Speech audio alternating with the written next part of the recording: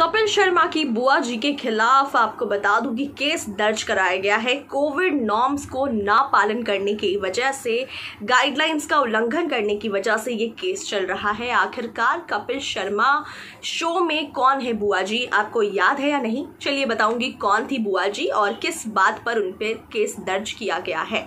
नमस्कार, मैं हूँ स्निग्धा और आप देख रहे हैं हमारा चैनल। अब ऐसे में अब आपको बता दूँ कि जिस तरीके से कोरोना महामारी फैलती ही जा रही है, लगभग लगभग हर देश में कोरोना महामारी का कहर बढ़ता ही जा रहा है।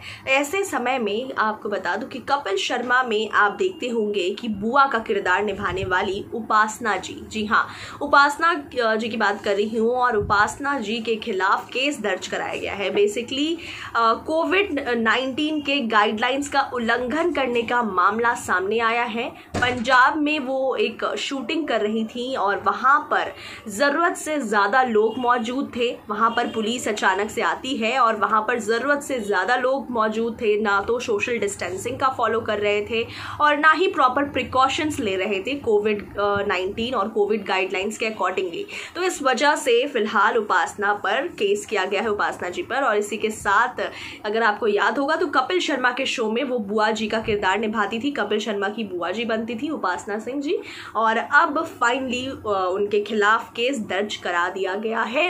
कोविड नाइन्टीन गाइडलाइंस को फॉलो ना करने पर। अब ऐसे में आगे क्या होना है?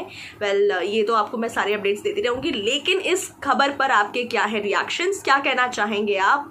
क्या उपासना जंग के साथ जो हुआ वो सही हुआ या नहीं? आपके अकॉर्डिंगली क्या है आपका कहना? हमारे कमेंट सेक्शन में लिख कर बताएँ। तमाम बॉलीवुड और टीवी दुनिया से जुड़ी हर एक खबरों के लिए देखते रहिए हमारा चैनल